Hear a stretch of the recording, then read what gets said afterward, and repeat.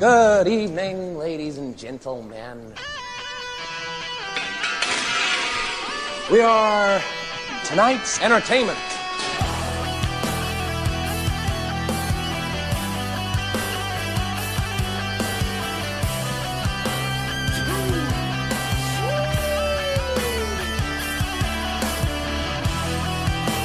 The BSN Network proudly presents the WECP with your hosts, Aaron Holiday. and Jerry Flynn, the heels of podcasting.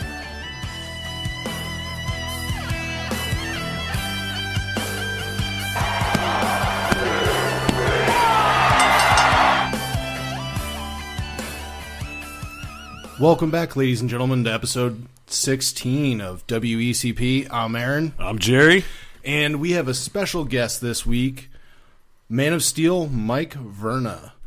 How you doing, Mike? Aaron Jerry, I'm doing good, man. I was pretty uh, pumped up with that little theme song there. It kind of sounded like the uh, Four Horsemen. Yeah, no, you a like Super it? Nintendo Four Horsemen version. Yeah, one of our uh, one of our buddies that's on the network uh, created that uh, intro for us. That's pretty dope. I like it. I Yeah. like it. What's going on with you guys? Uh, you know, trying to stay dry. It's raining out. You know, It's crummy. Yeah, same here. In New York, it's pretty shitty out here too. I'm not gonna lie. so Mike, you're you're from New York. Uh, where did you train at?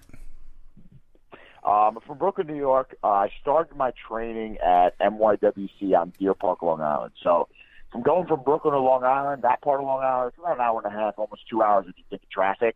So it's honestly just as close as me going out to Bethany, which is which is pretty sick considering it's New York. But um, I started out there um, back in about 2011.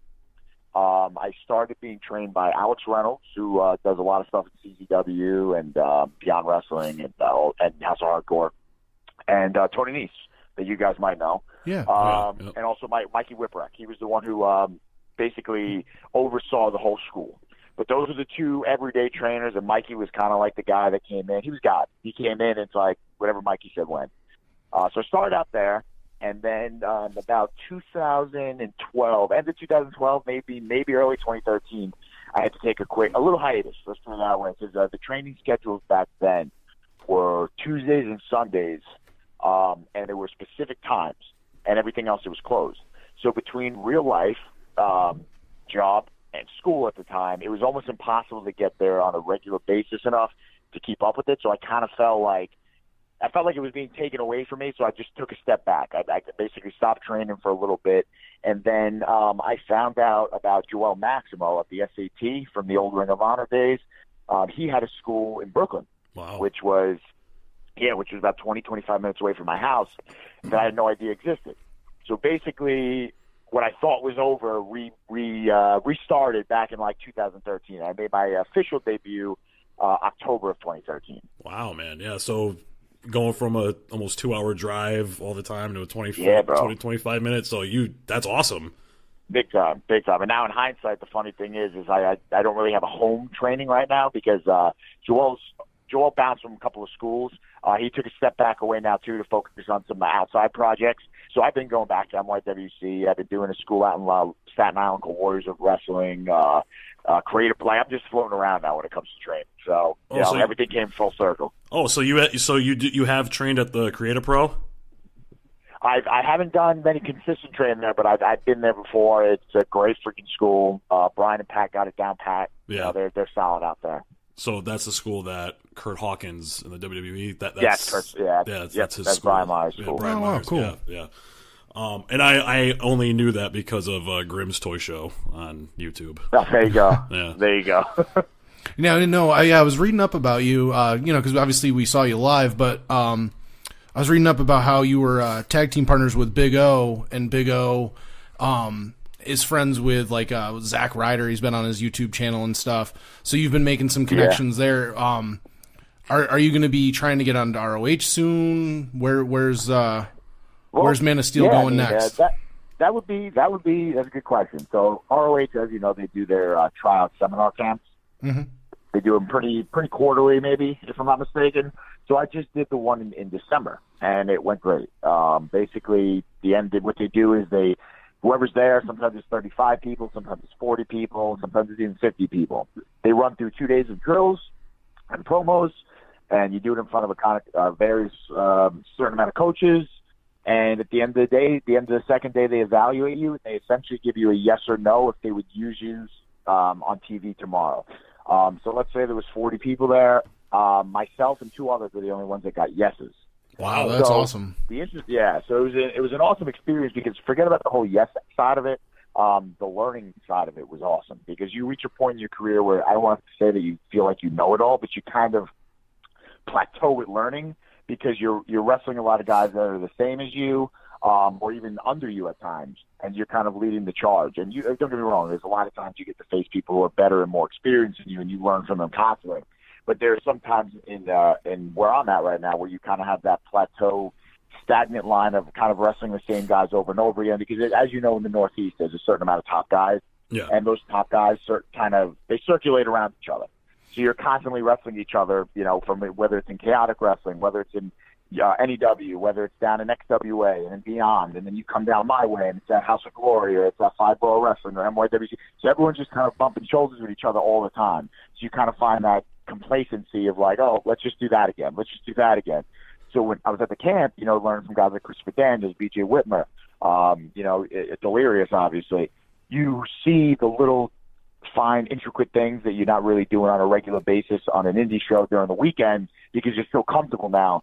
And then you take a step back and see what they're saying. All of a sudden, like, oh shit, that makes a lot of sense. But this makes me that much better. Yeah, then that's When I hold a guy up, you know, when I hold a guy up 10 seconds for a suplex and then bump him and then look in the camera and make sure my hair flip is still in place, that all of a sudden is going to get you more over than the move. Well, So absolutely. those little things that you're like, yo, yes. right. Yeah, I was going to say a lot of the a lot of wrestlers talk about how you know, especially the guys that went in the territory days. That was the benefit of you spend a little bit of time in one area, got over there, and then you can move on to another area to learn different styles, different work with different guys, so you can actually, you know, like you said, you don't plateau. You actually just keep building up your repertoire. Oh, exactly, exactly. You know, and and and that's the thing. Just to touch on what you said with the, those territory aspects of it, I think we're kind of getting a little bit of that right now in 2018, and I think that's a blessing because you know when I first broke in, wrestling kind of wasn't what it is right now. It was it was cool for the for the marks and the fans and the nerds and everything that just kind of was afraid to say they like wrestling, but now it's so popular again. It's pop culture enjoyable. Um, it's you know people people of all freaking creeds, ages, you know, genres, they all like it. You know, it, it's something that's thank God being popular again.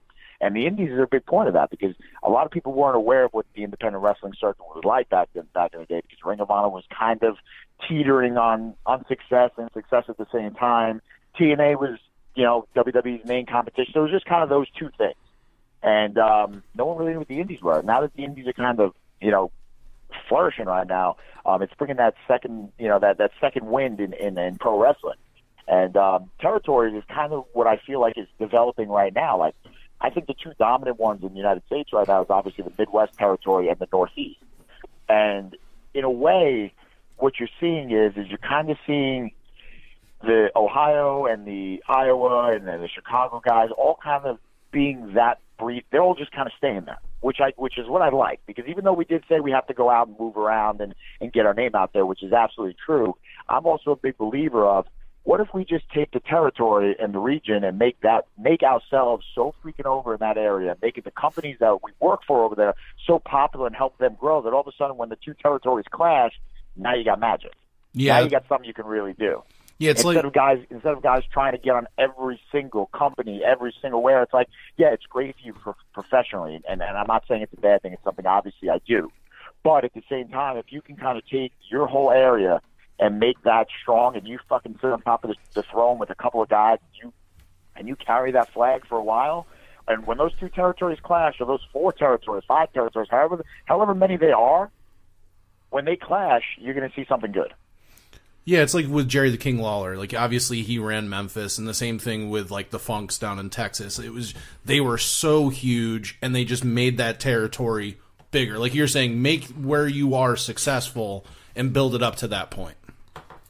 Oh, 100%. And then you and then like I said, then you can do your whole like cross, you know, promotional stuff where the New York guys and the New England guys are going down to the Midwest area. And now all of a sudden the Midwest guys are coming up here. And we have a little bit of that now because you know Sammy uh Sammy uh, was doing obviously CCW. Um, he was he had a big role in CZW, still has a big role in CZW from um, and you know and so you're getting all those Ohio guys coming up down here to the tri-state area, which is great. It's bringing new guys, um, you know, new eyes on on guys like that over there, and then you know we'll have guys like Ace and MJF going down to the Midwest now. That's where they live now. So like you're getting a nice a nice little blend of talent, you know, going back and forth. But I now now I feel like this year more more than anything, now that you have those guys that moved to Ohio and you have um, the Ohio brand as it is right there, and then you have the New England, New York guys, I feel like those two territories are going to blow up, and it's going to be massive. It's going to be huge for wrestling. And, and I think if, if, if the two territories can keep themselves separate for a couple of months to see what what we can get out of it, and then like I said, when they kind of clash, now we're talking. I feel like we're going to see something good. Yeah, I mean, and that's like that. You know, I feel like in the wrestling world, that is a huge thing. Like territories, I I love to see territory wars with. Hundred percent, hundred percent, and that's why I feel like I, I feel like we're going down that road. And if we do get there, we'll see what happens. And I also know the Man of Steel wants to take over Italy at some point. Oh, um, yeah, hell yeah, that's my main goal right there. See, man, uh, for sure, because I feel like I'm going to Italy next month. That's first of all, from the 17th to 31st. Nice. Uh, I got a little mini 15 day tour there. Oh, nice. Working about four shows, and I'm on vacation the rest of the time. Where, and I also have two seminars, which is kind of cool. That um, the Italians, thinking American like myself, uh, is good enough to teach a seminar for them. So I do appreciate them on that. So I do have a I have a pretty packed schedule, but at the same time, I'm going to have some leisure time to enjoy, uh, you know, the homeland. Absolutely. But um, I definitely do want to do exactly what you said in regards to Takeover Italy because I feel like um, I've, I've been to a WWE trial camp, and you know I don't want to get too deep into that because that's stuff that you know is what it is. Right. Uh, but the one thing that they really, the one thing that we we still stay contact in about is one of the biggest things they liked about me. And just to be clear, it went fucking excellent. That was another thing too. That was one of the best experiences I've had in my life. I was well prepared for it. It worked out good. The coaches loved me. But WWE is a different brand than like an ROH or a TNA where they're casting people, as they say, or they're, they're signing people based on specific demographics and specific needs. Right. So, as a professional wrestler, the, the path to WWE is a little bit different than what you may think, no matter how talented you may be or may not. Mhm. Um, it's just a different road to get there, and I'm totally cool with that. I'm looking forward to for that road. But one of the main things that they loved about me was the fact that I had the Italian heritage, which um, in WWE right now or wrestling in general, besides Bruno, there really isn't anyone from that that you know that creed. Well, So as- one of the things they really liked about me was that. So they, they one of the things they told me in closing just uh, was that they wanted me to take advantage of that. So one of the first things I did after that trial in June is I started getting my connections down in Italy and I started putting together this tour. right. Well, I mean, as long as they don't throw a Santina Marella character on you, I mean, I think we'll be okay. Oh, exactly, exactly. Hell yeah. I I, mean, want- that's it. yeah. Yeah. Santino did a hell of a job representing the country. Don't get me wrong. Oh no, Yeah. he listen. He No, for, for for what for what he did, it was it worked for him. Um, but and I I feel like with you know with you and like your look and like the character, um, which I want to get into in a little bit uh by, by your character, but I Yeah. feel like I feel like with you know who you are, it- like I can't see them. If I was running creative, I wouldn't be like, well, you know, Mike, what we're gonna do is you're gonna be like a parody character. Like, no, because you have like that serious, like you you have the look of a destroyer. You know what I'm saying? Yeah. So Yeah, that's it. And then thank you for that. Definitely. I mean, the, the interesting thing on that, which is awesome, just to touch back on the creative thing, is I do wrestle for Chikara. And I wrestle um, under the name Sloan Caprice with Rex Wallace. So Right. we're, we're a uh, we're a tag team called the Closers. And what's interesting is is our characters are exactly what you said. We're like those bruiser destroyers. Yeah. We're just heel. We're monster heels. Um, but the thing is, the cool thing about it is because of what Chikara is, how uh, fun and like family friendly and everyone's over the top and the characters are like you know crazy. Like it brings that side of creativity out of the characters. Like even though we're monster freaking destroyer heels like we still are able to look at like an end and have like a comedy moment with them. And that those parts are fun. But in regards to a comedy character like we have people for that. You know what i'm saying? Like there are wrestlers out there that that kill that. They they do a great job at that and that's their role. And i would never want to really you know do that no, I, I hear you. Um, okay, so can we touch base on the Man of Steel part of you? Um, so Oh, yeah. how how did that like? Did you come up with you know Man of Steel? Because I consider you to be like you know Brooklyn's Man of Steel type thing, and um, you definitely have like the Superman look to you. Um, I feel like if you just kind of curled your hair in the front a little bit, you know that little that little John Travolta thing going on, you'd be Yeah. you'd be Superman spot on. Um, so can you get into that character for a little bit? Well, yeah, of course. Um, that is uh, one of the main questions I get whenever I do one of these, and I, I do laugh every time because it, most people do say the same thing, where it's like, "Oh, well, I get it. I, I, as soon as you walk out of the curtain, I get the character," and, and that's pretty much how it kind of came about. So, when I was about to debut in 2013 with uh, with Joel, Yep. um, we were we were kind of coming up with a name, and he's creative. He's a creative genius. He's a, he's, a, he's an innovator. Like you could tell by his in ring stuff, stuff that he came up with in the ring. He still has that same mentality from behind the scenes and character development and all that stuff. So he was coming up with these names that were like totally ridiculous. It was like Ethan Chase was one of them, um, Mike Fox. Um, here's the crazy one, and and I, I don't want to get heat for saying this, but I resemble a wrestler who's kind of Voldemort type in wrestling right now, um, just from a style of uh, in-ring style and kind of uh, the build. I think you know where I'm getting at. So he wanted to name me Mike Benoit, and I was like, we were just, I was just like, yeah, no. So there was there was a lot of Oh. things getting thrown around, and I was like, I think the one thing I want is I want to make sure my name stays Mike Yeah. because I'm I don't want to become I don't want to become you know Jerry Verna or Aaron Verna. You know what I'm saying? Like I want to stay I want to stay with my name. Right. You know, the, the more success you get, you want to you want to stay your name. I don't want people calling me something I'm not. Absolutely. So I said think uh, yeah. So I said think of that, and you know once again he was coming up with these really shitty names. So I was like you know what, let me let me get something to eat. Let me go home. Let me let me think it out myself. So I was thinking of some ideas, and then the next day at training, I was uh, still kind of stumped, and I was wearing a Superman shirt Yep. uh, in the ring. And when I was sweating, my hair did exactly what you said, which is the little curl in the front. Oh yeah. So now all of a sudden we're just kind of we're just kind of wrestling, and like it kind of stops, like time stood still, and we're kind of looking around. We're like, "Are you thinking what I'm thinking?" And he was like, "Yeah, yeah." And then the next thing you know, it you know, I'm sitting, I'm sitting in the checkers with my friend PJ Stackpole, who's uh, he's a promoter in New York. He was my manager when I broke in, and I told him, I was like, "You know what? Let's just do it, Man of Steel. Let's run with the Man of Steel." I mean, you look at it, you look at it from a wrestling standpoint. Like wrestling is comic books. Uh, wrestling fans are comic book fans. Um, and not to sound egotistical, but like like you said, like the look is there. If Oh. no one has that look, why No. not take advantage of it? Exactly. And like I said, when Why not jump on it? and and, and when we were at the uh, over the top uh, show um, where you know my friend Joe over here, you, I know you remember Joe yelled his name out in the in the I know ring. Joe. Yeah. Joe is the one who wanted me to do the chop. Hey man, what's up, man? well, Joe. Um, I remember when your music, like when you first came out, when you had your your singles match, the minute you walked, Uh-huh. the minute he walked out of the curtain, I was like, "Holy crap!"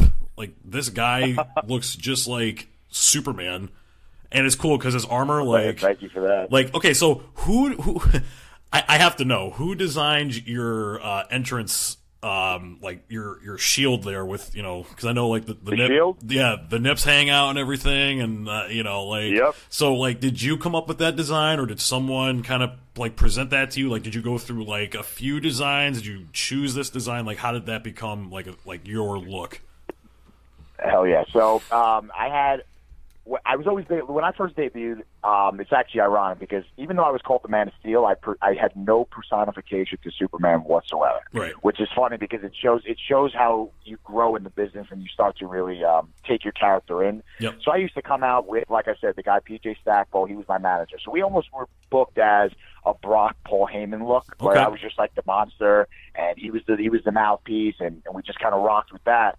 But there was no real Superman thing. All I did was call myself the Man of Steel, almost kind of like how Chuck Liddell would call himself the Iceman. It was just one of those things where it's just like he's just the Man of Steel. It's really nothing to it.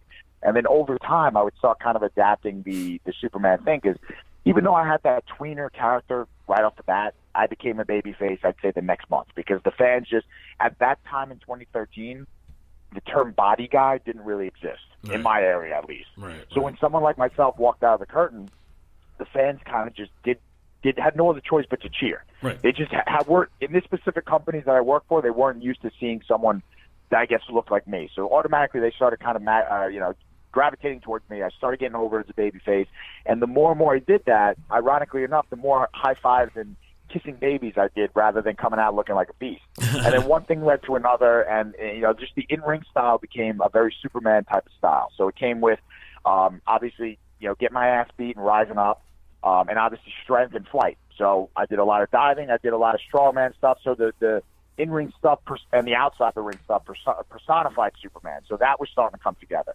And now I started sitting there thinking to myself, okay, I have the in-ring stuff down, I have the regular character stuff down, but what am I going to do to make the character really Superman-y without being super corny. Uh, So I added the um, Superman metal, um, Superman um, guitar chords to the to the my the entrance song, and that was next. And the last thing was I need a freaking entrance.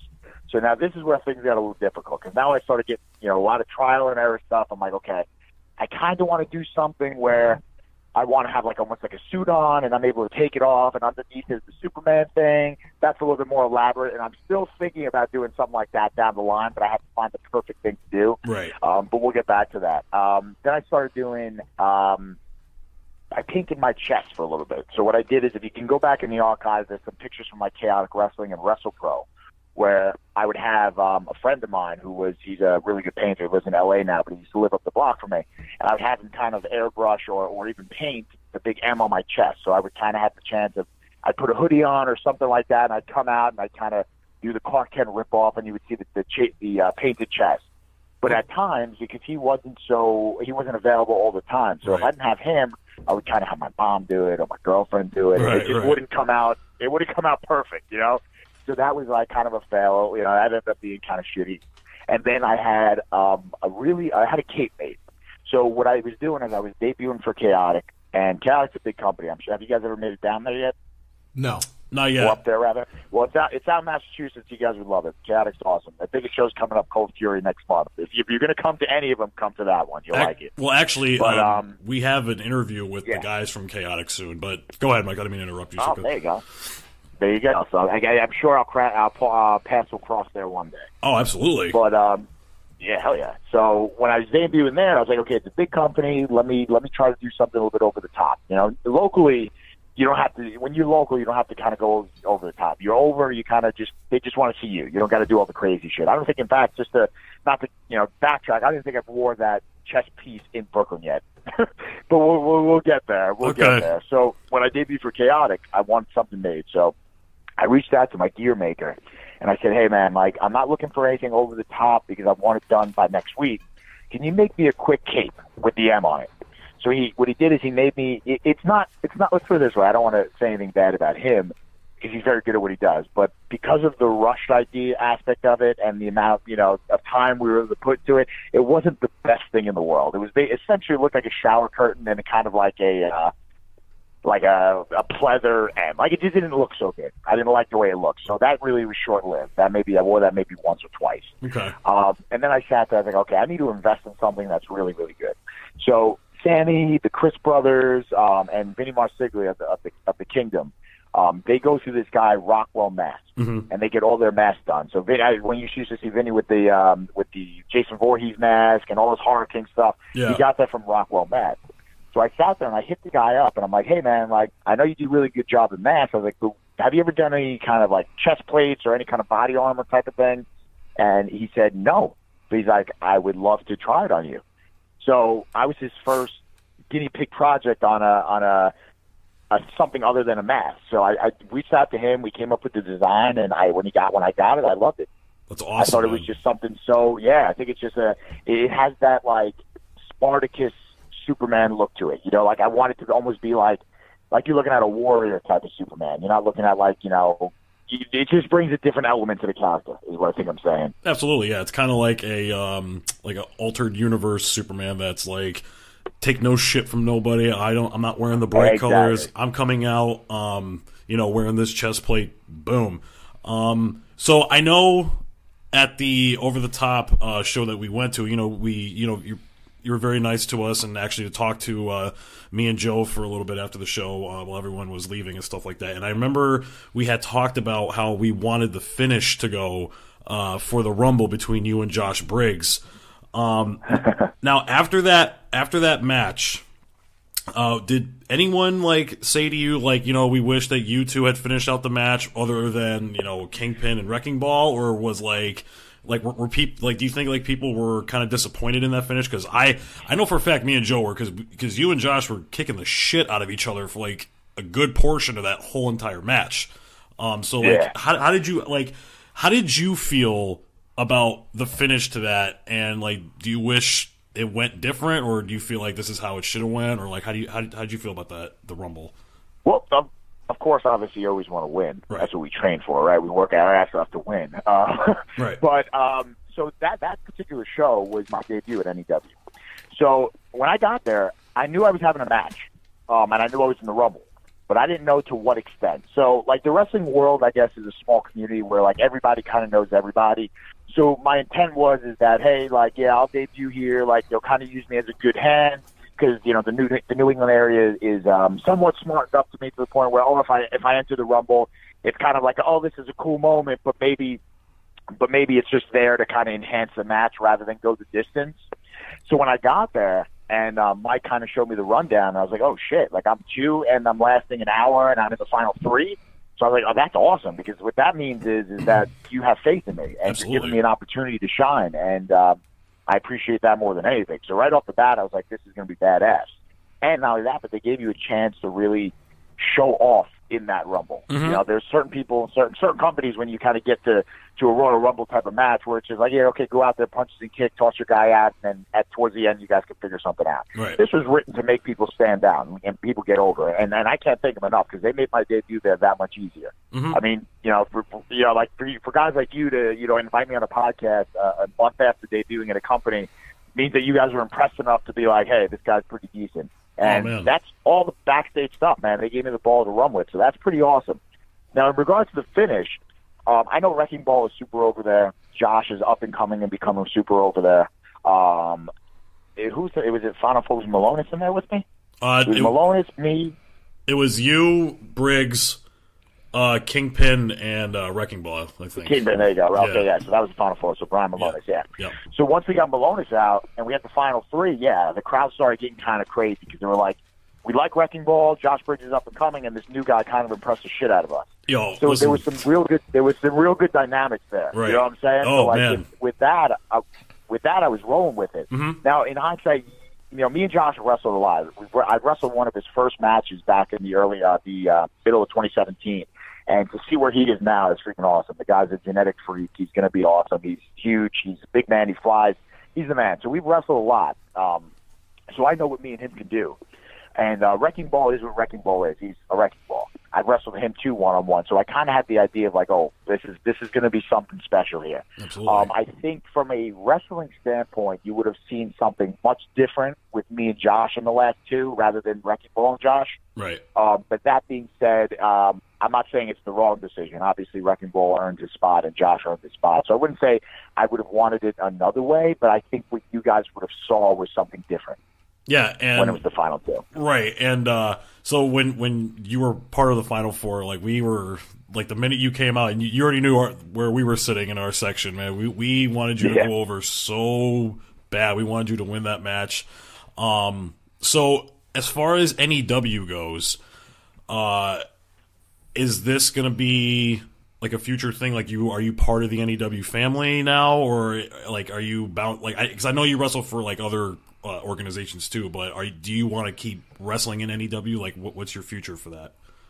I want. I I am part of the NEW family going forward, and I want to be here for sure. Uh, my goal, NEW. I even said it. I don't know if you follow the social media on them, but uh, they, when they aired the promo uh, me backstage, uh, basically introducing myself, I, I said that NEW was one of the companies that I considered a goal, um, especially in the territories. We go back to the territories that we were talking about earlier. Um, I basically conquered most of the companies I want to work for in this area um, entirely. And I think NEW was just about the last of the Northeast that I really wanted to be a part of. And um, I finally got the call from Taven and uh, and Mike, and I was I was ecstatic to be a part of it. I want to make it a priority. I want to make it onto those big shows, the stadium shows, the high school shows that have 2,000 people. You know, if you're a wrestler and you don't want to be a part of a show like that, then you're you're in this business for the wrong reason. So NEW is exactly where I want to be. It's, it's one to me. It's one of the top companies in, in the entire United States by far. Uh, when it comes to production, when it comes to draws, when it comes to name value, when it comes to everything. I mean, they they got it. They what they've been doing there for the last couple of years, for the last plenty of years since freaking you know Dusty Rhodes was around, from what I understand. Um, they've been killing it, and I'm very happy to be a part of it, and I will be a part of it. No doubt about it. So I got to ask you, who are the like your favorite guys to work with? Um, on the indie on the indies, independent level, or like a like a um, in general, the guys level. that guys that you've worked with in the past that you just absolutely enjoy, and you guys just go out there and just tear the house down. Uh, JT Dunn, 100%. Every single time we wrestle, we have a phenomenal match. He's one of those guys that um, is incredibly giving and understands how to play to a crowd and storytell at the same time. So, you know, a lot of indie guys now, it's kind of about no selling stuff and just getting stuff in and just kind of doing stuff without forgetting, while forgetting the elements of what wrestling is, and that's really storytelling through fighting um, in layman terms. and a lot of people do forget about that because they kind of just want to get their shit in. Um, you know, and, and it's not from a selfish standpoint. It's just of how the business is now. Like a lot of companies, a lot of times the fans in, in, in the audience, they, they want that fast paced, kind of strong style, kill each other thing. And um, luckily with me and JT, uh, we, we don't always have to do that. We, we get busy, don't get me wrong, but we also tell really good storytelling. So he's one of them. Um, I've wrestled on JF over a hundred times now, so he, me and him have great chemistry. We always kind of do, uh, we always kind of have a great match together. Um, one of my favorite matches ever was Hanson, who I'm so happy he's in NXT right now. He's so deserving. Um, Hanson and I wrestled last February, 2017, and, and in New York at least, it go, it was um, it's in the, the final four for match of the year for 2017 in the New York uh, scene. Wow. Awesome. Um, he gave, yeah, he. I can't can't put over that match more enough because when you when you wrestle name guys or you wrestle guys that are international or off TV or going to TV, there's two ways of doing it. It's either they pass the knowledge and give you 100%, or they kind of give you a really good match while keeping it simple. Let's put it that way. Hanson basically went in there in a selfless manner, gave me everything I wanted to do, gave me ideas to make my shit better, um, beat him cleanly without any kind of issue, without any kind of issue, um, without any kind of issue, and then just kind of taught and guided you through the, through the entire match. So him personally is just he was one of my favorite people to work, and I'm happy at Chaotic I was part of his last match before he went to NXT, so I'm happy with that too. Uh, Hanson's a great guy. Like I said, Briggs, I wish me and him had a little bit more one-on-one matches because we had a lot of multi-man matches. But me and him, me and him one-on-one, I think we'll be able to really, really go the distance with that. Um, damn, whenever whenever people ask me questions like this, I get such a mental block because you wrestle so you wrestle so many people and you have so many good matches with people that you kind of tend to forget. Um, but there's a shitload, man. There's a shitload. So, yeah, those three, just just so uh, those three names, I'm sure you're familiar with. So those are those are definitely three guys that I, I enjoy wrestling on a daily basis. Awesome. So, also, who was the the who was your favorite wrestler as a kid? Like, who's the guy that made you go? I that's that's that's what I want to do for a living. That's the that's what I want to be. I want to be a wrestler. I like you said they're like comic book heroes, like real life. You guys are essentially real life comic book heroes, guys that you Yeah. can go there and see that they are chiseled bodies and also like tell a story. Who's the guy or or guys or or even female wrestler that like made you Yeah. go, I got to go out and do this. Well, it's going to sound cliche. If you if you see stuff on social media, I, I do some acting now too. So I put the hashtag. Usually, when I do an acting gig and I'm on set, um, I put the hashtag Dwayning uh, because I live that rock lifestyle. That's my goal. So it may sound cliche, but as a kid, man, the Rock was my guy. I'm a I was born in 1991, so I was an Attitude Era guy. Um, you know, late late 90s into the early 2000s. That that was my prime time of wrestling. Um, you know, so I, I was The Rock, it was Austin, it was Triple H, it was DX, it was guys like that. Like those were those were that was my time period. So you know, there was the Austin clan and there was the Rock clan. I was always Team Rock. Um, but the more and more I got older, and I looked at wrestling more less of a of a innocent fan, let's put it that way, to more of a smartened up fan, I I, started, I fell in love with Macho Man Randy Savage and Kurt Angle. So those three right there, Kurt Angle, 2006 Wrestling Machine, Kurt Angle. I'll use that more clear. Um, so those three right there basically have been my my inspiration for what why I wanted to be a wrestler. Um, the Rock as a whole, for what he's done career wise, if no one wants, if, if if you don't want to have the success the Rock has had universally, then uh, you're you're smoking some some good shit right there because that guy has uh, changed the game. So. You know, from a professional standpoint, I the Rock's my number one goal with that, and then just from a wrestler, uh, from an in-ring standpoint, you got you know Macho Man Randy Savage and Kurt Angle, man. Like Kurt Angle's size and uh, build is a big reason why I've always gravitated towards him, even though I don't have the Olympic background and the amateur background. His power with his limited size was always something that I was intrigued in. Um, and Macho Man, I mean, come on, over the top shit like that. That that is wrestling. That is wrestling. It is, yeah. No, I, Macho Man's in my top five, and, and Angle. I, I gained a new respect for him because we, we actually saw him wrestle Cody in uh, at WrestleFest last year, and Oh, he went in. yeah, and he, went. went It, in. it was good, man. It was really good. Uh, it was his last match, obviously, before he went back to WWE. It was just Yeah. unbelievable, and and same thing with Cody. Like just to see them, those guys live, and how much you don't see on TV, which which is why we love going to these local shows and seeing you guys. You get to showcase, like you said, your talent, and we actually get to appreciate it. and the, and the beauty of it is is what I like to tell a lot of people when they when people who aren't um, totally smartened up to professional wrestling as a whole, um, when they find out when I'm when I when they ask what I when, when they find out I'm a wrestler or ask what I do for a living and then find out I'm a wrestler, they pretty much say, oh, that's like WWE. And what I like to say is it's kind of like minor league ball to get to WWE because there's only one game in town and that's Vince. Everything else is, is number two, which is okay. But Vince is obviously everyone's main goal. Like even guys in ROH that that you know live out their contract, they'll go to WWE. Or Impact guys that live out their contract, they'll go to WWE. So er, you know, obviously WWE is the end goal. So that being the only game in town, I feel like everything underneath that is a step to get there. So I consider like minor league baseball. So we may be single A right now on the independent level or double A on the independent level, but we are the future of the major leagues. So when you guys come to shows like that, it's going to be funny because hopefully, in a perfect world, five or ten years from now, when we're in the prime of our hopefully WWE careers, you can sit there and say, "Hey, man, five years ago, this guy was on the phone with me, and we were talking, we were just shooting shit." Yeah, and that's the key. Like that's the best thing about the independent thing. And you guys and fans in general coming to these shows because they're watching the stars of tomorrow literally do their thing before before they hit the main mainstream. and that's why we love the indie scene. But you want to know where, where I want to see Man of Steel? Do you want to know where I'd love to I hear think Man of Steel should go? I think Man of Steel should go to Japan and run the Bullet Club. I Oh would man, run run him through. Well, good buddy, I'm good buddies with Flip. So if he needs some, uh, if he needs some backup, by all means, all you got to do is give me a call. Hey man, that's what I, I want. Actually, I, I do. I, I was like, I was thinking, like, you know what, Man of Steel would be awesome if he was in Bullet Club, like legit. Like if they ever call you, you should, you know, definitely hop on that. Oh, ju- oh yeah, I- I'll definitely, I'll definitely think about it. Let's put it that way. Well, that was what I was going to say earlier. You were talking about how like the indie scenes, it's actually gaining such popularity right now. I put that. I, I don't. I, obviously, a lot of people like to say it's the Bullet Club and and all that. I I genuinely think it's guys like a Colt Cabana, a guy like uh, uh, oh god, man, I'm dr- drawing blanks here, but I can see their faces, just can't say their names. But uh, just guys like that that that aren't these big, big, massive names. They're doing the real work. I think the guys like Bullet Club because they've gotten themselves into like Hot Topic and stuff. But like Joey Ryan to me is a bigger name Yeah. in my eyes because that guy isn't doing what they're doing and he's still getting into the same places that they are. Just penis plexing everybody. yes. you know.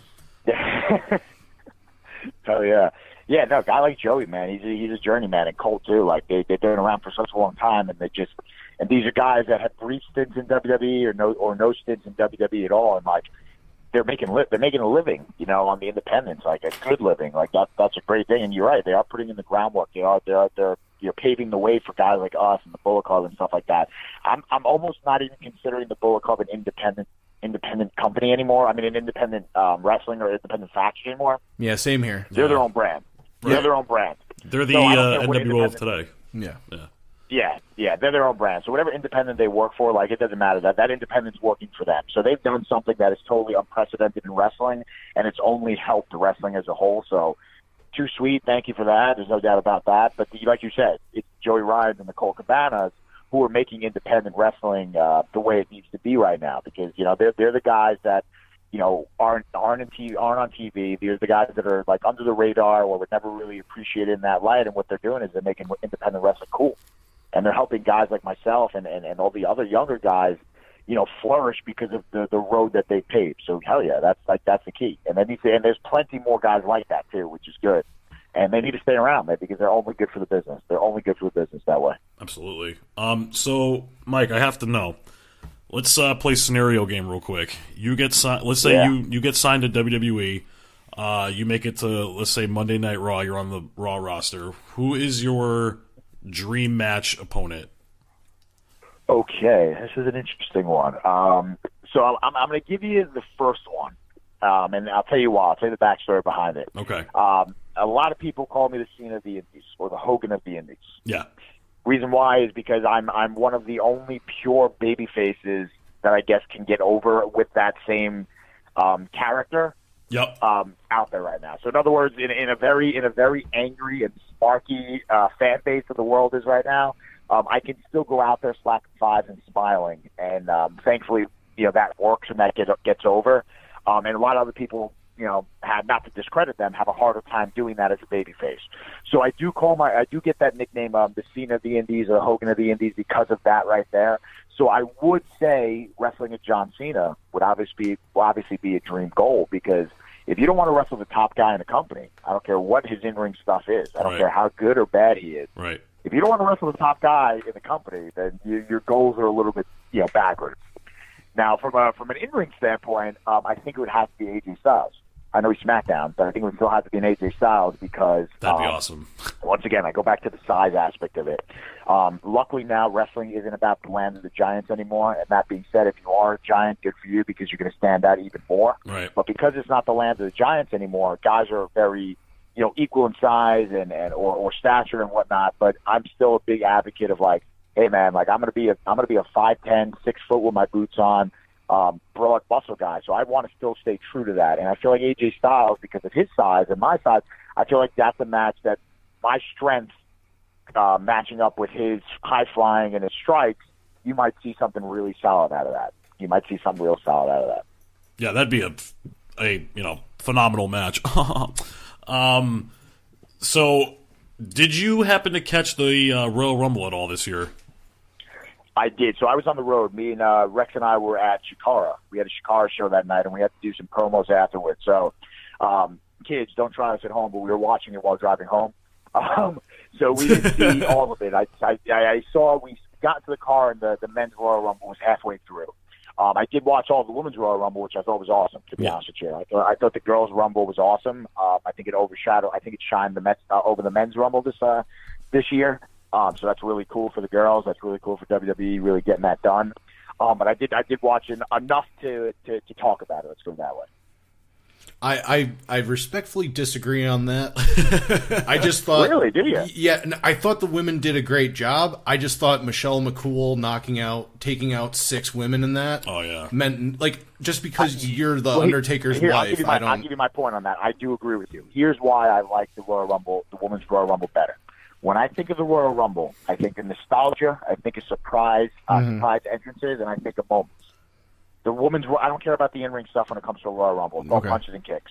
I want the moments, the surprises, and the shocks, all that stuff. Right. I got more of that with the woman. I didn't care about who eliminated who. I didn't care about how sloppy they looked because a lot of them looked sloppy. Yeah. They were coming in, they were missing kicks, and they weren't selling. It was very Sasha Banks. to watch. That meme that's out Yeah, there. The whole They- pay-per-view Oh my god, a big- lead it in the the- corner. Yes, the- the whole but they pay-per-view had was they had botch more surprises. They had more moments where you can go, oh, there you go, that's cool. Yeah. So that to me is what a Royal Rumble needs to be, and that's why I like the girls a little bit better. Yep. But Yep. the men's obviously had just the, the they they were they were more clean. They were more polished. Yeah, and I just think they, the only thing I will say is they got it right this year. Like when it came to who should have won, they got it right. Really interesting, interesting thing. See, it, the more and more busy my schedule has been actually wrestling, the less and less I've been in tune with like the dirt sheets and all that stuff about all the, the rumors and all that. So I actually had no idea who was the rumored favor, uh, favorite to win the Royal Rumble this year for the guys. I had no idea. Last was- year we knew we, we it was you know like years prior Yeah. you knew going into it it was predictable. This year it might have been predictable from a storyline standpoint. Um, but I had no idea. I didn't know who the rumored winner, winner was. I found out prior that it was either Roman or uh, or Nakamura. And I, I ended up going with Nakamura anyway, which is which is cool. It's different, but I, I was a little shocked at, with him. You know, it's a, it's an interesting, and it goes back to what I mentioned about Italy with me with WWE. It shows you their their demographic um, approach and their, their campaign in regards to you know hitting demographics and, and trying really to master that global thing. They know their markets. They know what markets they have to reach. They know what's good. And, and that's not to take anything away from Asuka or Nakamura. They're obviously you know two of the greatest in the world at what they do. There's no way to do that. But it is interesting to see how they put those things together. You know, to- to- in other words, I guess a Nakamura headlining uh, uh, WrestleMania uh, wouldn't necessarily be a traditional Vince move. I think you know Vince No, goes not so reliable. Yeah, John Cena, Roman, and stuff like that. So it was very cool to see something different and something fresh, especially the fact that we're getting AJ Nakamura too. Oh man, And on this on this standpoint, you know what I'm saying? So like, I'm I'm happy to see that Vince uh, signed off on a wrestling match. Let's Right. put it that way. yeah. That's what I'm I happy mean. that he yeah. said, He- this is going to sell on a wrestling match. Yeah, no, I- more than the wrestling match. Yeah, no, I think this time at least they did like like you said, like Roman's usually like it, everybody thought Roman was going to win it this year because that's the the original idea that they were gonna they were gonna go to you know Roman Brock again at WrestleMania. I, I, I was like I really hope that doesn't happen just Yeah. because I like I don't yeah, mind Just that's that's just sick to think about that again. It's just sick to think about that again. Yeah, no, I don't. I don't want it. But like to see, and that was the other thing is, two like 10, 15 years ago, you had literally the Asian wrestlers. They were a horrible gimmick. They were chopping off Val Venis's dick. Now you're Yeah. you, now they're the going to probably main event WrestleMania. Hundred percent, and that and that's exactly what I exactly what I meant about that demographic thing. Like, you know, the evolution of wrestling as a whole has changed, which is great because New Jap- what New Japan is today. In fact, if you really think about it, New Japan is the number two to WWE. Absolutely. Oh, it is, yeah. Hundred percent. It's it's the it's the 100%. number two. It's the number two, and to tell you the truth, if you really want to crunch the numbers, it's maybe it's maybe a close one in regards to popularity. Oh yeah. If, Oh, if, yeah. you're, if you're taking away the numbers and the dollars and all that shit, it's probably close. It's probably t- neck and neck with popularity with WWE. So you know, it's great to see what Japan and Japanese wrestlers are able to do now in current day. But you're absolutely right. Back in the day with Kaientai and even Tajiri for for the most part, like these are great wrestlers. Funaki, Taka Michinoku, Tajiri. These are these are Japanese legends, and then they come to WWE and they kind of don't really get the rub or the push that they were supposed to at the time.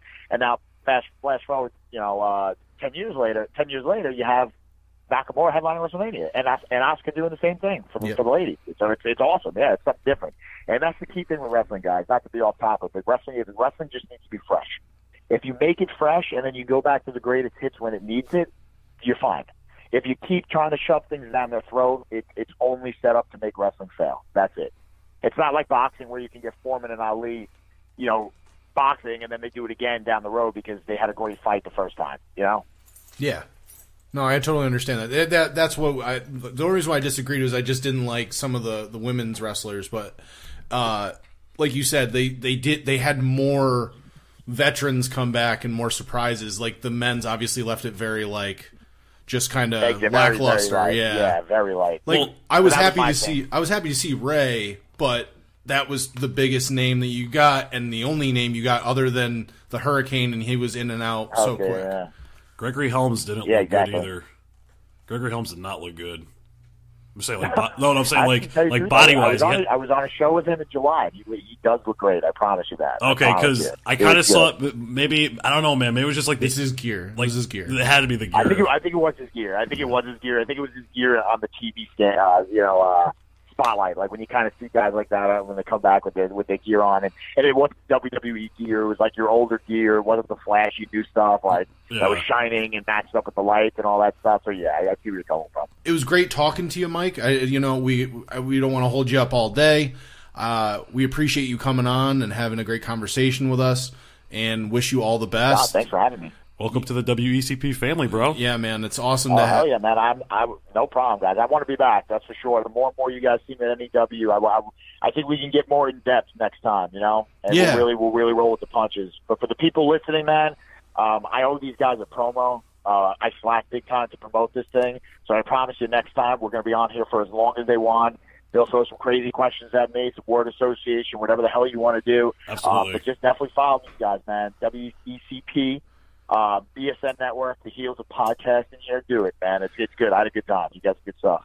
Thank you very much, man. That's this wrestling, you fuckface! Welcome back, everybody. Uh, just want to say again, thank you very much to Mike for coming on, talking to us, you know, elaborating and, and just giving us a little bit of insight into who he is. Um, we're gonna talk. We're gonna elaborate a little bit more about the Royal Rumble and how we felt about it. Jerry and I disagree on this. Um, and we also want to like talk about like the, the the coming out of it. What is it? What does this mean for coming out of the Royal Rumble? So, Jerry, what you what did you think of the Royal Rumble in general? The whole the whole pay per view. As a whole, uh, the women's Rumble match was the only good, semi good part of the night. The rest of it, to me, um, and many people have disagreed with me, whatever. But again, you know, everyone has their own opinion. I didn't enjoy it. I remember it was, you know, we were just sitting, we are sitting at my, uh, you know, my fiance's house watching it, and it was just a huge botch fest all night. No moves were landing. People were tripping over each other. It was just everyone was sloppy. Um, I just I didn't enjoy it, and that's all I could really say about it. I just I just did not enjoy it. Now I know your your view is a little different, so I'd, I'd love to hear what you know what you thought Well, about it. so this is the same paper, and I, this is bet what four weeks ago Yeah. this happened. So it's a little bit fuzzy in my head when it comes to like the other matches that happened on the show. So the tag titles happened as well, right? It was um the Usos versus That match was good. That that was a good match. See, I disagree. Not because they didn't wrestle well, and Dave and I have had this discussion about it as well. I don't think it's so much that the wrestling was. Uh, it's not the wrestling that I bought that bothered me, or that the fact that they they you know obviously did too quick, like they did the long thing. They should have just done. It just should have just been one pinfall. Ended it would have been Oh, fine. like the two out of the th- two yeah, out of yeah, three. yeah. I got why they did it because you always expect them to get that second one, and then it has to go to a third, and that always plays out. I get it. They wanted that like little bit of mystery. Oh wow, quick! They got it the second one really quick, and it's over. Now it's over. But it just seemed so uneventful. Yeah. They should have done. If you're gonna do that, do it at a different date. Right. You know what I mean? I just think that the way they set it up, the way they did it, just didn't work for me. Um, I liked the pay per view enough. Uh, I just thought that the women's re- like I I understand and like when we were talking to Mike, he was like, "Yeah, but you got all the di-" that is the disappointment with the men's. We didn't get really any throwbacks other than Rey. Like I don't consider Hurricane because he only was in there for like 2 seconds, got thrown out, and then he did a couple poses and ran out of there. So the men's only had two, right? Yeah, that was it. Just two. Yeah, that's no, what bothered no, me. yeah, I was- and the women's. To be fair, the women's they've never done a women's Royal Rumble, so you everyone that's not wrestling right now Right. is a surprise. Yeah. And like some of their other surprise women that I'm sure they probably would have loved to have used are either pregnant or just had their kids like a week after the show. So it's like right. they can't use those women. But like Lita didn't look great because she was wearing an outfit to I guess promote like um not letting, you know, men mistreat women or something like that. It was some there was some sort of like political statement she was trying to wear with her gear. Um and I didn't like she didn't look great like in her uh in her wrestling. She looked very sloppy. She hasn't wrestled in a long time.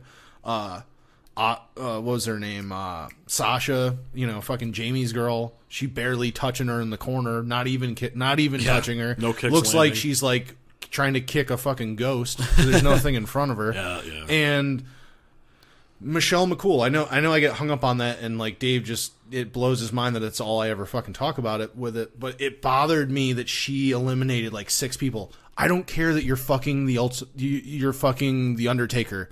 I don't care. You weren't a good wrestler when you wrestled. You're not a good wrestler now and you're not that hot.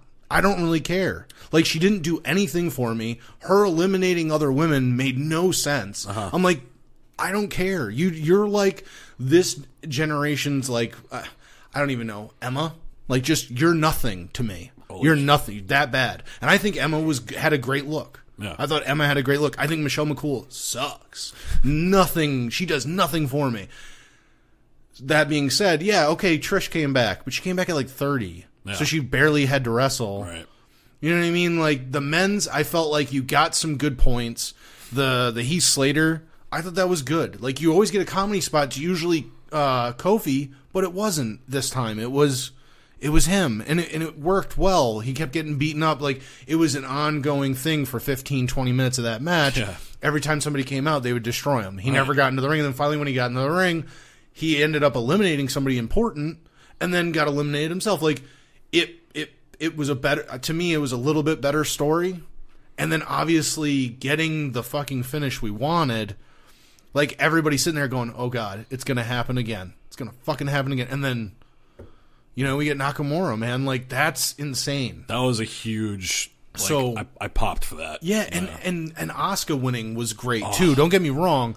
I don't want to downplay that at all, but like I genuinely saw once that happened, I was like, okay, I know how this is playing out. yeah.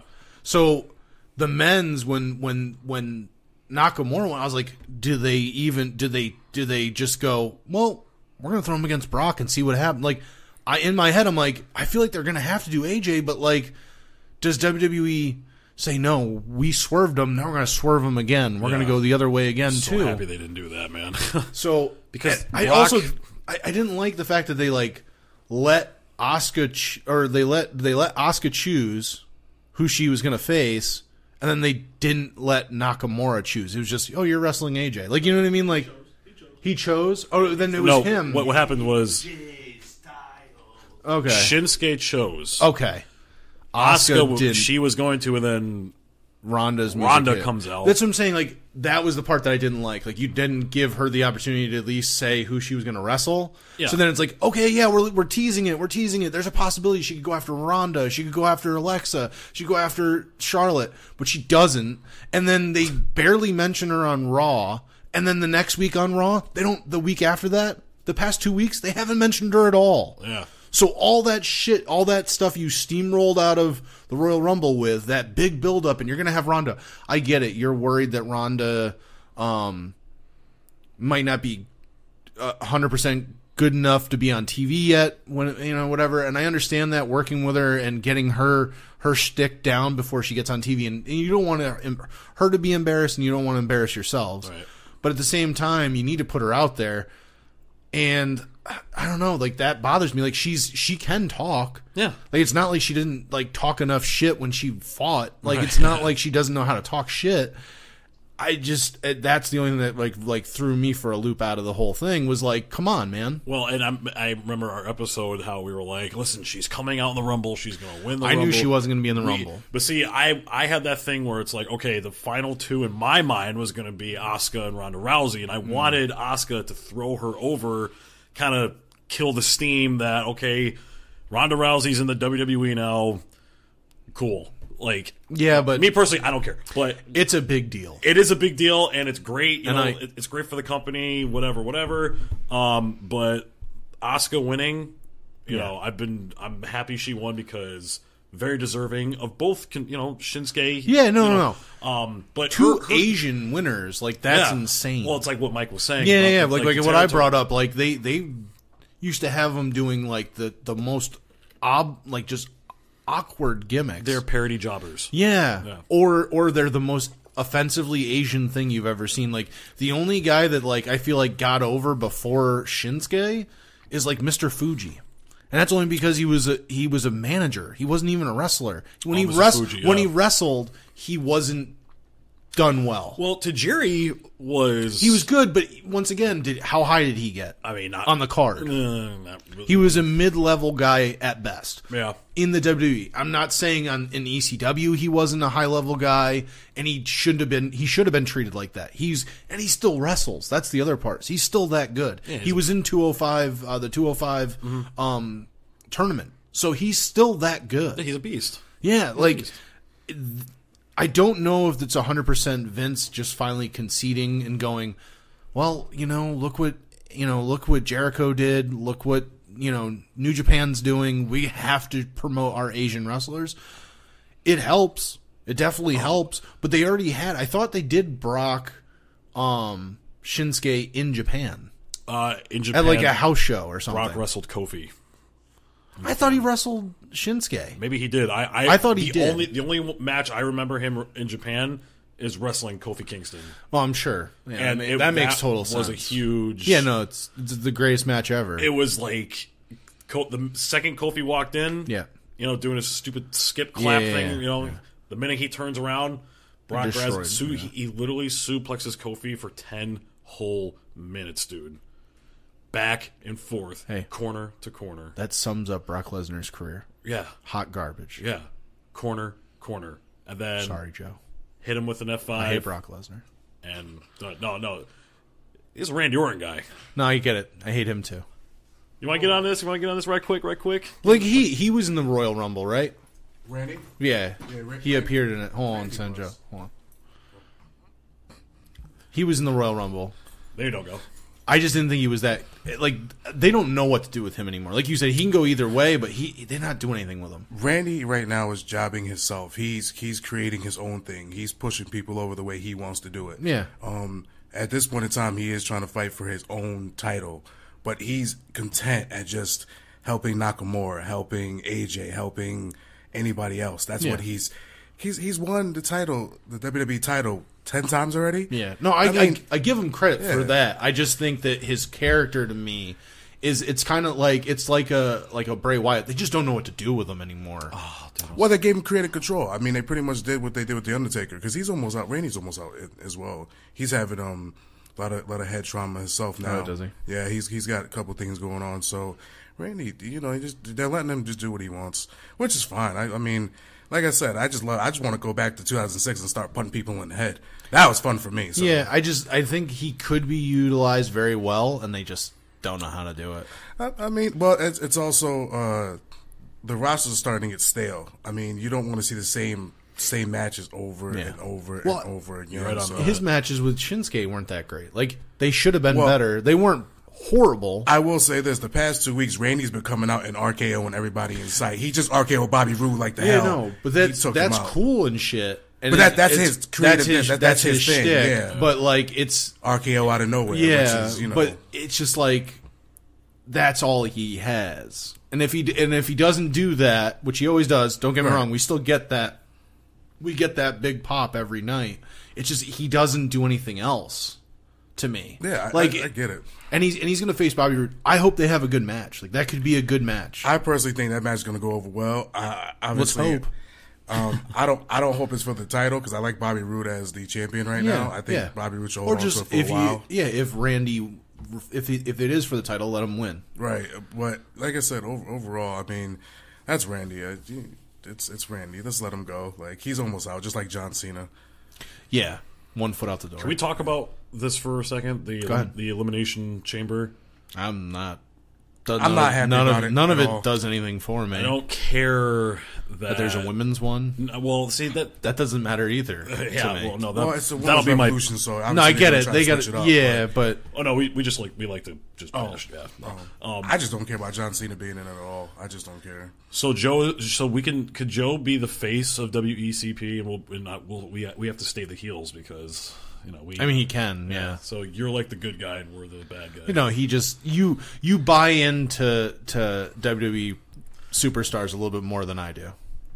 I, well, thanks to him, I've been an indie guy, so I mean, I've been working on it. But, Yeah. uh, you he's know, he's, he's I don't starting. know, Trust me, he's he's starting to see. For as much as I shit on a lot of things, I think Cena's d- doesn't deserve three quarters of the shit that the people throw on him because I don't think he does anything wrong. I don't like and that it's he's- not him. I don't like that, that makes a he's- lot of these decisions. in the elimination chamber yet again. And who did he who did he face to qualify for that match? Finn Balor.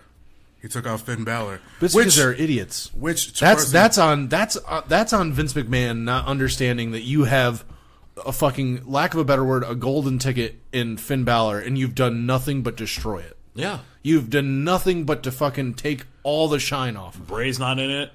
Well, Bray, once Bray, again, Bray lost they against don't Roman, so because they don't care anymore about Bray. Bray fucked up when he started fucking JoJo. Let's be honest.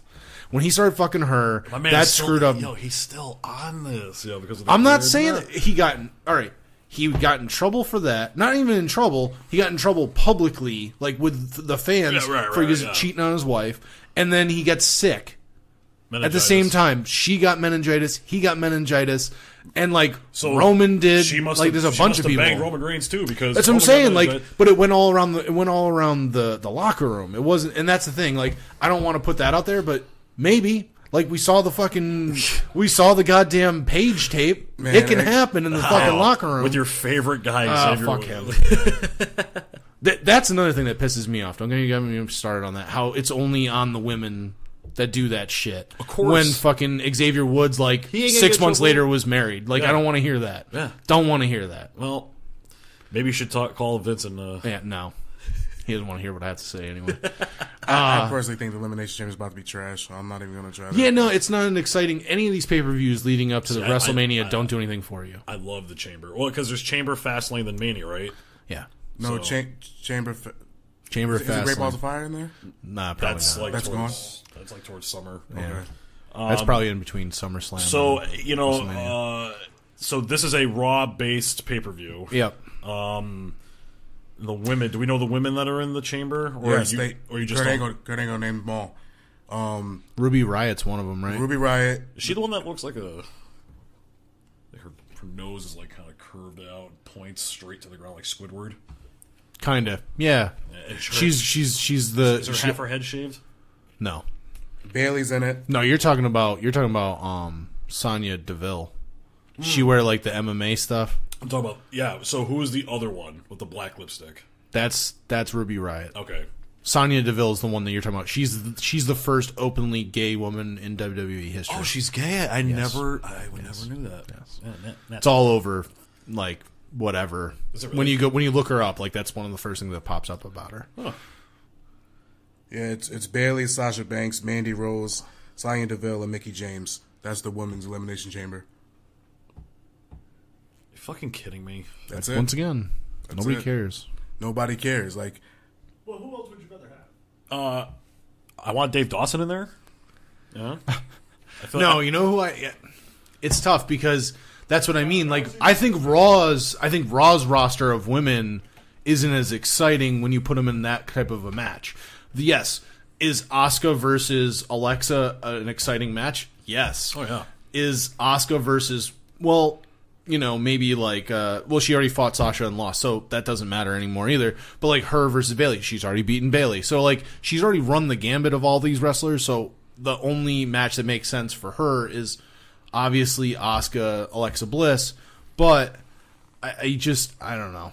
It doesn't What does the winner get at Elimination Chamber? Is it just winning match, or is there any WrestleMania? Well, I was gonna say the, winner- the men's, it's it's you get the title shot. You get The women's, I don't know if that's gonna hmm. end up being a three. No, the men's is a not for the main title. It's just it's just for it's securing a spot at WrestleMania. That's what the elimination chamber is. Oh, it's even Right? worse. Oh, see, I thought that made it. You win the No, Rumble. I thought when I you when, when you no, win this- the Royal Rumble. Yes. you you are. yeah, but I thought this was the implication was because they because a Raw winner didn't come out of the Royal Rumble, Right. They have to. Oh, this That's one right. pushes this one pushes them to so let's say Braun Strowman wins this one, he's going to WrestleMania versus Brock. which And is probably yeah. most likely or that's- Roman. Oh God. I'm gonna say Brock because I think get these hands movement is now like the new biggest thing right now, and I think they I think you never seen. Have we seen a Brock versus Braun one on one like just? But did it, but did it go yeah. over well? No, Before, because no, but Braun, well, Braun's more in, in like Braun's, Braun's come a long way, Yeah. and when they f- when they fought last time, he's better sculpted now. yeah, he's got was he's that Great Balls of Fire. Yeah, last year he, he he developed he's developed much better. I think the problem is you have a Brock Lesnar another another conversation that they're going to have to have. Like you put it on this is the same thing that's always that always happened with like the Undertaker. You're going to have to find an easy uh, uh, uh not non easy way to take it off of Braun when that time comes. If you give it to him at WrestleMania, which they should, he deserves it. they should. Yeah. And if you think that Brock's leaving again, Yep. He's his contract's up after WrestleMania once again. So if you don't get a deal set up with him and you're going to put Braun over, you need to figure that out. That part needs to be figured out. Yeah. So they need to plan more than just to WrestleMania. They need to plan to SummerSlam.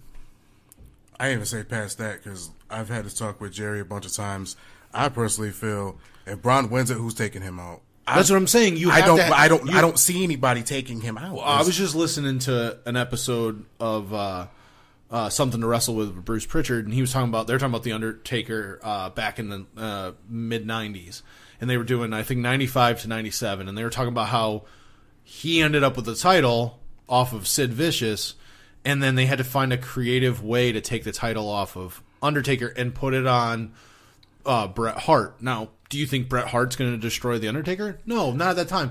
So what they did was they had you had uh, Shawn Michaels be the special guest referee, but he couldn't screw over Bret because if he did, he couldn't wrestle in America anymore. Back when they were doing, you can't wrestle in America, you can't wrestle in uh, Canada or whatever type Right. deal, or he could never wrestle in America again or something like that. So he went to hit uh, Bret Hart with a and chair. He, with a chair, and he ends up hitting Undertaker instead, and then still has to count the one, two, three. So technically, the Undertaker doesn't lose to Bret Hart, but he he loses to Shawn. So that that match is what made 1997 Badd Blood.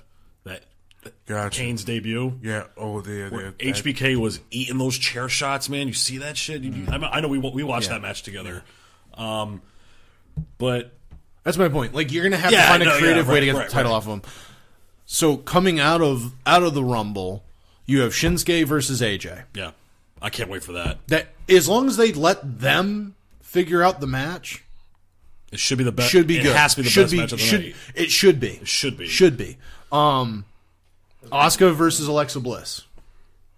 It's gonna be a good match. It's gonna be good. Yeah, I mean, I, I like them both. I love Alexa Bliss. I, I think it ends with with Asuka going over. I think she's gonna. love Asuka. I think she's gonna put her in that uh, submission and done. I think it's time for a title change with that, anyways. I think Yeah. Alexa Bliss had it for a long time. Yeah. Time for her to give it up. And I think she's a good champion too. Don't get me wrong. No, I no, like she Alexa is. Bliss. I I even like back when SmackDown had Naomi as the champion. Like I like the I I started to buy into Naomi, yeah, Naomi was a good champion. and I and I buy into like it. it Asuka wins the SummerSlam match between Asuka. It's got to be it's got to be Nia.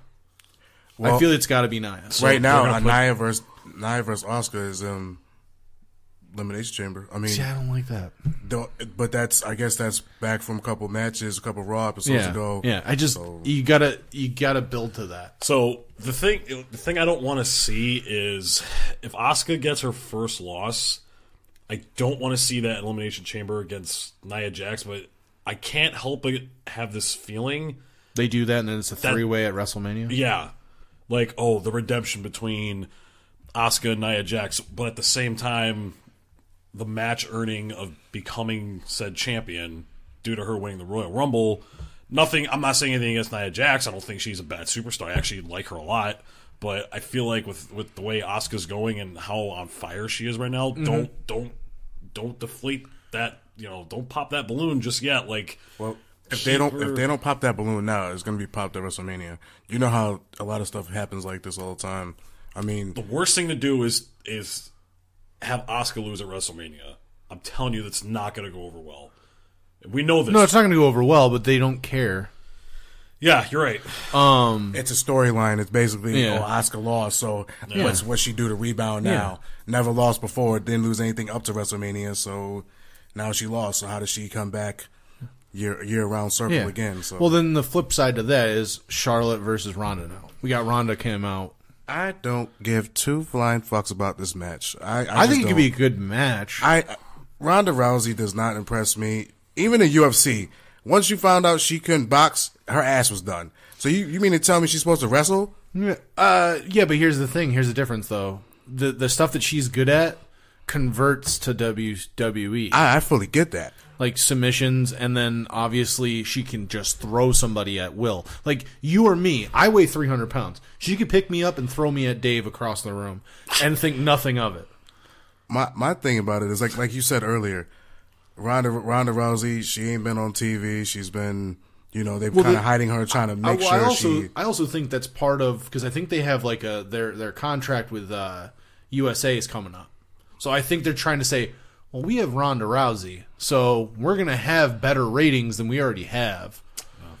Get ready, for, and then right before that deal's done, you put her on TV and then say, "This is what Ronda Rousey gives you if we have her on our TV. Give us more money." I was gonna say because the ratings haven't been.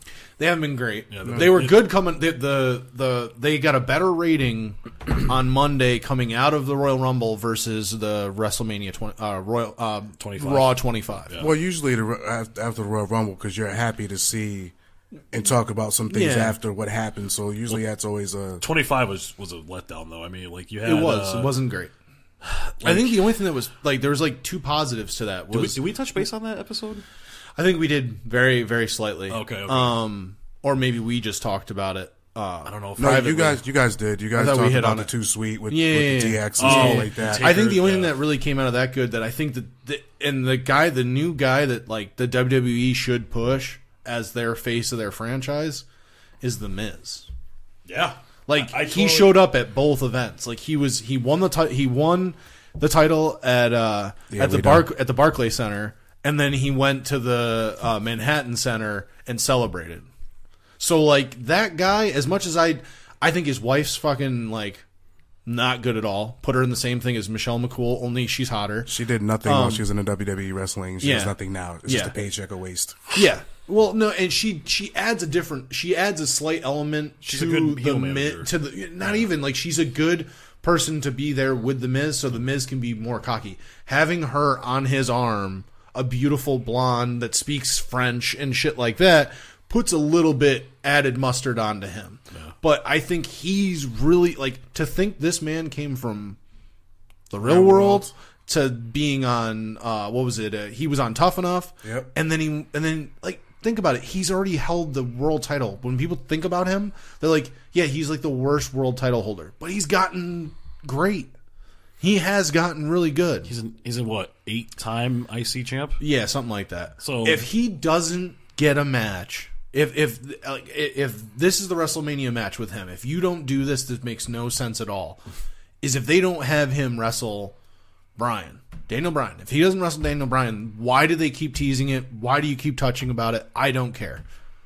Because him versus Shane doesn't make any sense to me. No. Shane versus uh, Daniel Bryan makes no sense to me. I don't care that Daniel Bryan's coming back. Nothing about that excites me. but him versus The Miz would actually excite me. Yeah, that'd be a that'd be a cool match. Because he's going to wrestle. Whether he wrestles in the WWE or not, he's going to wrestle again. Okay, but how's this gonna happen?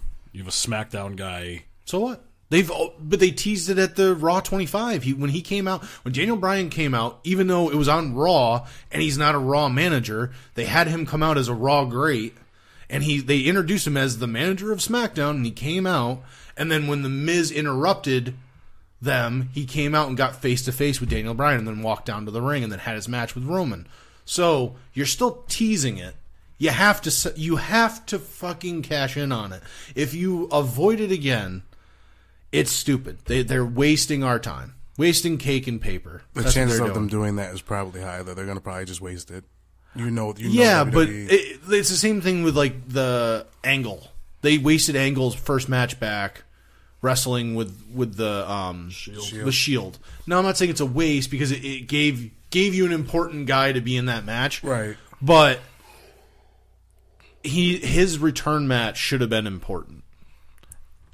It should have been important. It should have been fucking a build to something. Should have been a reason, not just hey Roman Reigns is sick. I agree with you 110, percent man. I'm with you. I, I say the same thing. I would. I kind of wanted to see. He looked awkward in that costume. I kind of wanted to see Kurt Angle versus Triple H after after cool. I wanted to kind of cool. old school, bring it back one one last cool. time. That would have been cool for me. And that's Angle. I mean, Hall of Famer, greatly deserving, but that would have been a match I'd have watched. I'd have Oh been no, like, all that's, right, that's cool, the like, match to do. Yeah, I would you love- know, I- I would love have that. him have an argument with with uh, Stephanie and not get physical. It's like he doesn't have to hit her or anything. Just grab her by the arm and like go. You're not listening to me or something like that, and be aggressive. Right. And then instantly gives you a reason for Triple H to be like, "I'm going to murder you At with my sledgehammer." It's Yeah. you and me. Yeah. I. So, are you excited of what they're doing now? Uh, Like we we got what we wanted out of the Royal Rumble. yeah, we did. Is it exciting? Uh, now? Like, are you excited to see WrestleMania? Yes. Other than other than AJ Shinsuke, are you excited for WrestleMania? I mean, uh, uh, regardless, if I talk shit about Yeah. it, I'm always I, I love WrestleMania Day. Like I love. yeah, I'm, I mean, I don't love seven hours of TV. well, well, It's almost like a full shift at work. Like, I don't want to do that. Like, if I was at work and put it on, different story. right. You know, that would make time go by faster. But I, sitting seven hours, I mean, that's that's Yeah. a lot. Is that what times is it? Is it still? I don't know. I know they do like the pre-show, which is ends up being like two hours because it's WrestleMania, Yeah. and then they do fucking like five hours for WrestleMania. So it's it's a long seven, fucking day. seven, seven to twelve, seven Yeah. to eleven. And then you have Monday Night Raw, Yeah. and then Tuesday night SmackDown. Yeah. well, if you factor in everything, you have you have the um was it Hall of Fame's on Friday, yeah, Saturday's takeover, yeah. and then WrestleMania. So within within a 5 days you have 5 days straight of wrestling. Yeah. Of pure like and it's not obviously the the um the Hall of Fame's not a technically a wrestling event. It's a it's it's a thank you to like the greats or Yeah. or whatever you want to call it. It's not rest. There's no wrestling in the ring. But that's a fucking like three hour show. Yeah. It always is, but it's it's stacked this year. Goldberg, Dudley Boys. Who else just got in on, on, on the Hall of Fame now? I think they're going to announce him tomorrow at some point. Yeah, Couple- like I think There's like Chi- six I, I feel right? like Chyna's gonna get in this year. Well, I hope she so. might be the I she might be the deceased entry like the to the Hall of Fame. Yeah, like the like the uh, memorial. Yeah, I think she's going to be the one um, because Stephanie and Triple H both acknowledged her at Raw 25. Yeah, So I think she's going to be the. I hope so, man. She, I think so. She she, deserves it at this point. Like as much as people give her shit and whatever, like that woman. That wa- She kicked ass in the yeah, ring. She's yeah, eighth wonder and- of the world. I mean, yeah, how can and, you not? And She a lot of people gave her shit at the beginning of her career for looking too mannish.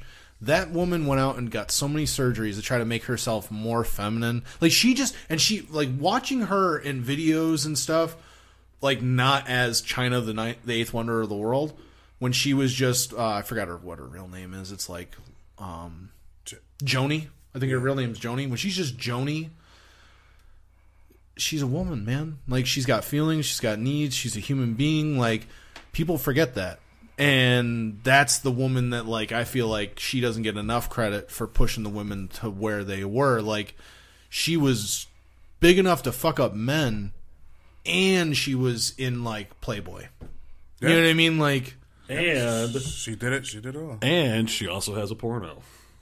Yeah, that's later in her career. Made Yeah, right. made some bad decisions, but you know what I mean. Like Real bad. Yeah, but you know what I mean. It, it's it's it's going to be an interesting event, like you said. Goldberg, um, the Dudley Boys, like that's cool. I'm excited for that. Obviously, that means the Dudley Boys are not wrestling anymore in the WWE. They're they're They're out. well, but uh, Bubba Ray, he retired, right? Like he retired Yeah, at a Honor. House of Hardcore. Yeah, Like he he did his last match for Ring of Honor and then did a, a House of Hardcore and retired And in I it was either Philly or New York. I think it was New York because he's from New York. Think it was in New York. Probably was New York. Yeah. I'm just happy to see him get in. Get in. I mean, the Dudley Boys are. D-Von, like I think, felt like he should have gotten more later on in his career. I mean, they did the whole like religious thing, and I didn't think that was very good. The Reverend Nobody D-Von. about that. Yeah, No. that's what I'm saying. Like it wasn't a good gimmick, but he's a great. He's another one. Like just really good wrestler. Yeah.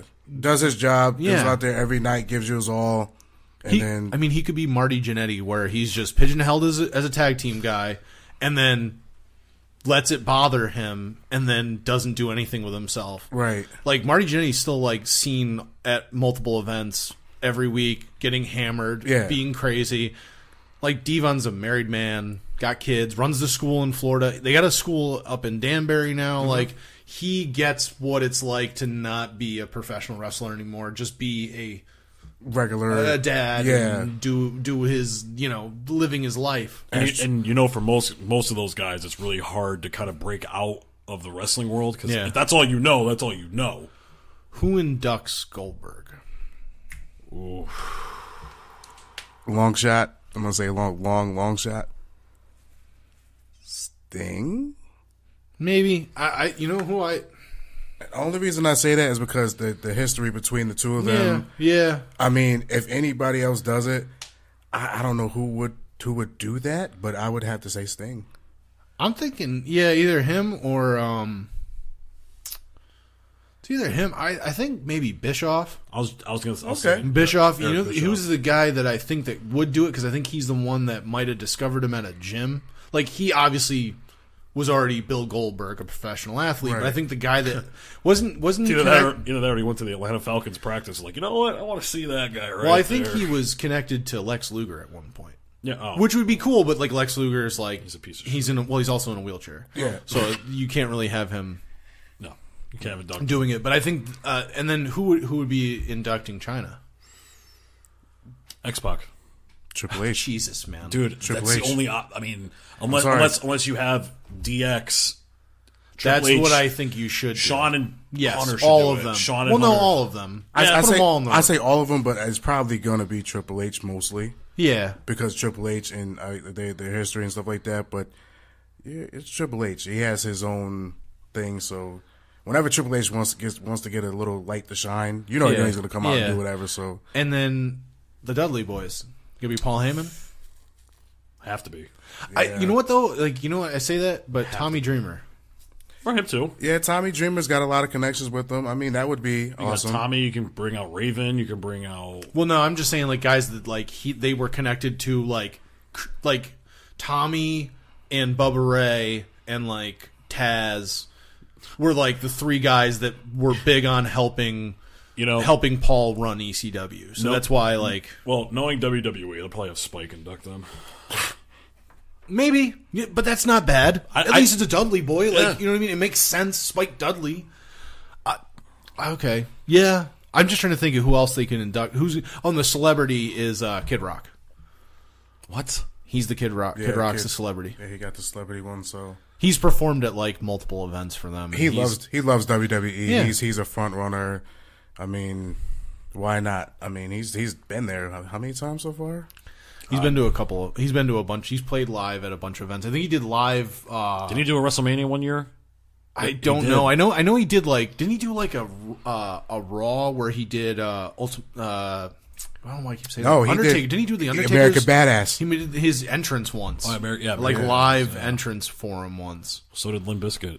I know, but nobody cares about Limp Bizkit. Fred Durst, eat a dick. Okay. Dave, As, as Dave laughs in the background. Dave, Dave loves Limp Bizkit. No, but uh no, it just I, I'm excited for what's going on coming up. Um, still holding my reservations because you know, as much as Vince is focused on being an XFL guy, uh, could he still fuck shit up? Yeah, because he's Vince McMahon and he's still in control until the day he dies. Yeah. Which I don't picture him ever relinquishing it unless it's like that he sees the product I don't go picture way down. I don't picture Vince ever dying. That too. Yeah, I think he's going to be one of those guys that's like 85, still in the gym, pumping it out, and then just done. No, you know you know what's Like gonna happen. they're going to find him in the gym. They're gonna put his consciousness inside like this chip and insert it into like one of those human robots that people are sharing all these videos about. Oh, the Vince- love dolls. Vince will live forever.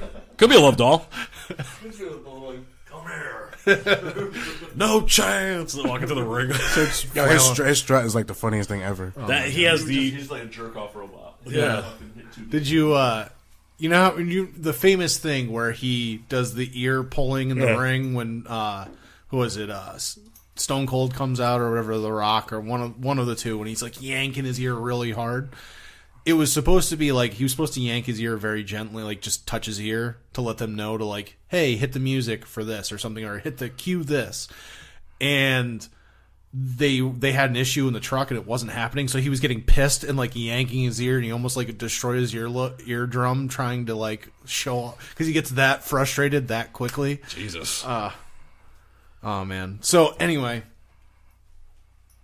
it just unbelievable the Royal Rumble. I'm still like breath taken away from it, but we'll see.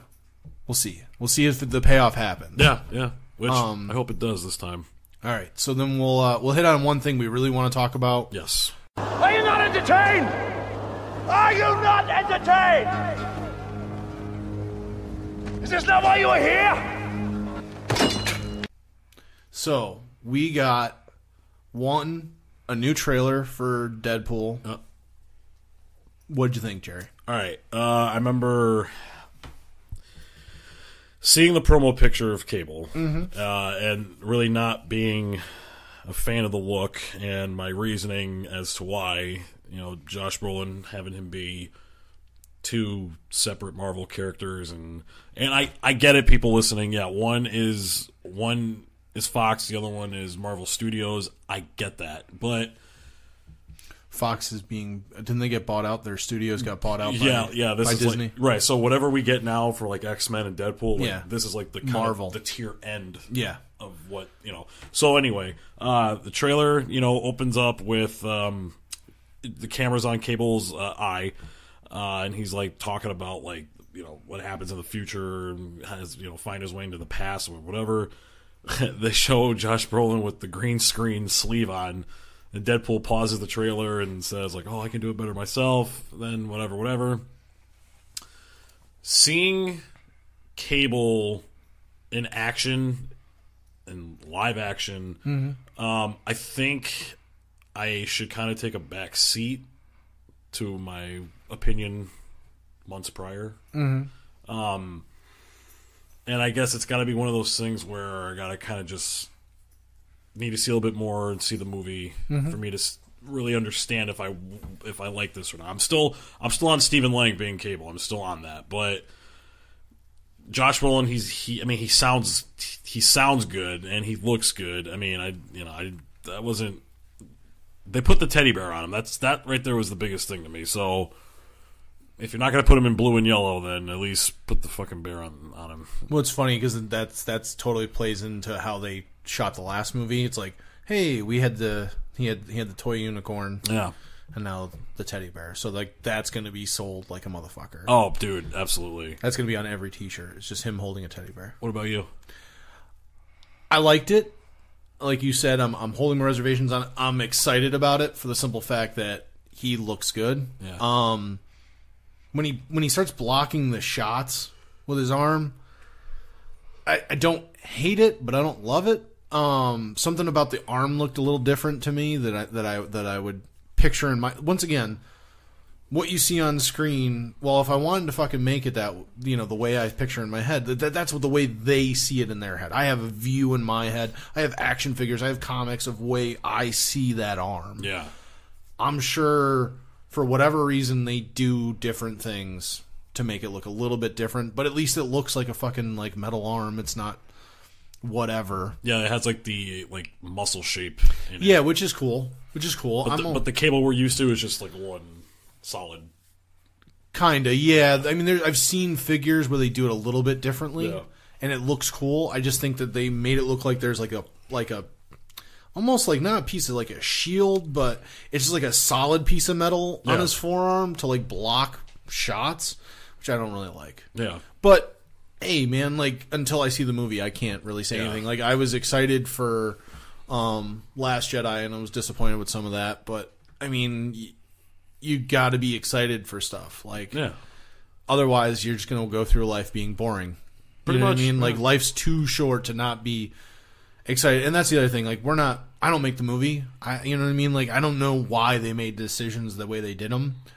Uh, it's gonna be good. Ryan Reynolds is gonna be fucking awesome. Uh, we haven't seen really Deadpool in the Deadpool costume. Like we've seen the his doll version of him, and then like, um, they see him like changing in the the original teaser trailer Yeah, the phone booth. the phone booth, Yeah. but like it, not a lot of um him in the in the outfit, which is going to be cool. Like there's a lot of him with the fucked up face sitting there. Like I like the fact that like they keep showing him like hanging out with the blind lady, sitting there in his like normal clothes, like showing that like it's not just all Deadpool all the time. Right, He's you know right. he's Wade Wilson, Yeah. right? Wilson Wade Wilson. Yep. Yep. got it right.